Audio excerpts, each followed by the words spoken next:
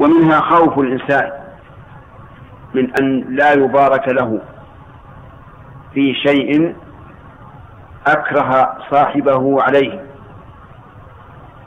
يعني أن تحرج إنسانا يعطيك شيئا فإنه ربما لا يبارك لك فيه. ولهذا قال العلماء رحمهم الله إذا علمت أن الرجل أهدى إليك الشيء حياء أو خجلا حرم عليك قبول. وهذه مسألة يتهاون بها بعض الناس.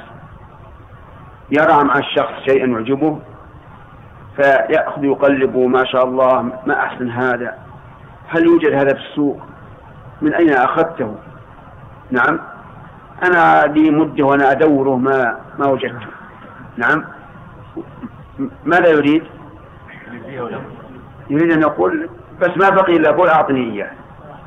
فهذا فيه إحراج. فإذا أهدى إليك هذا الشيء وأن تعلم أنه إنما أهدى إليك حياء أو خجلا حرم عليك قبول. لا تقل هو أعطاني إياه وأنا لم لم أجبره. ولذلك هؤلاء الصحابة رضي الله عنهم الأشعريون خافوا أن لا يبارك لهم بهذه الإبل. ولذلك ذهبوا إلى النبي صلى الله عليه وسلم وأخبروه.